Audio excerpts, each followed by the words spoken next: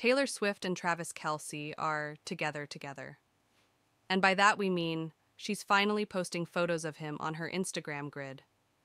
They haven't shied away from PDA before, but this is different. This period is what's commonly known as the hard launch, the time when a couple says, you know what? Yes, we are together, and we don't care who knows it.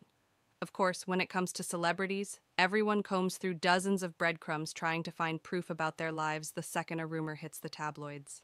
So it's that much more serious when a celebrity posts, or in Swift's case, also brings him on stage with her during her Eras tour.